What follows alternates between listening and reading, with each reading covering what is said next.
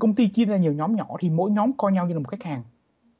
Tức là sao? Tức là khi mà uh, giả sử lập trình viên ở một nhóm khác dùng uh, cơ sở dữ liệu của, của nhóm mình đi chăng nữa thì coi như họ là họ là uh, khách hàng của mình. Thì tức là khi mà có vấn đề gì là mình phải hỗ trợ họ là thứ nhất. Cái thứ hai là khi mà có vấn đề là mình phải họp lại với cả cả nhóm họp lại với nhau.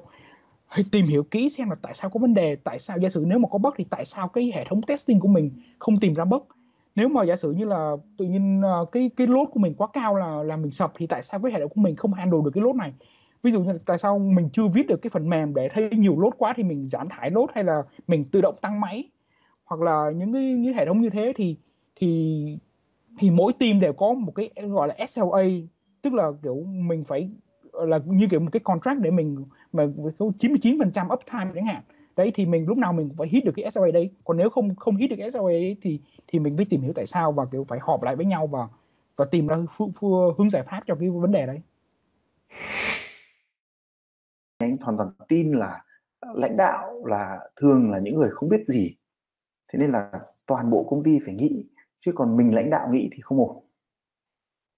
À, anh anh anh thì đấy cái này là cái này là anh nghĩ là nguồn gốc từ từ từ Google thôi.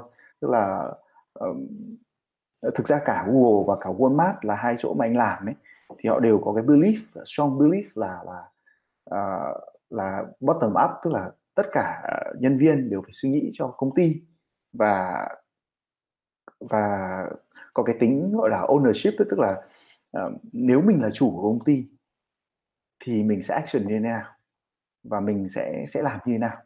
Chứ còn quản quản quản lý và quản trị tức là nghĩa là là từ từ từ top down tức là ờ, từ trên sẽ quản cái bọn ở dưới thì thì nó không ổn lắm tức là đấy mình lại phải đi soi từng ông thì nó rất là khó nhưng cái kia là đấy tất cả mọi người đều là là chủ của công ty thì thì mình sẽ ứng xử như thế nào đấy đấy đấy là cái cái cái cách mà anh cái cái mà anh mong muốn là công ty Calapa hướng đến. Uh, I'm Korean, but I was born in the U.S. and that's where I studied computer science and I worked for many years as a software developer in Silicon Valley.